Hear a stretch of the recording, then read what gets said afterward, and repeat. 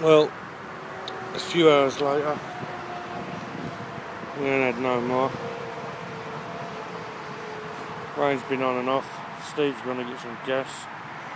Catweasel's up a tree. I don't know. He's he's gone somewhere. Uh, nothing. Nothing. Nothing. He get a bend in a rod soon? There's a makeshift bivvy. Haven't been for two years, so uh, you always forget something. My fucking up pitching on the road, forget the poles. Freak. Never mind. Tight lines. Call you my cats out, hopefully.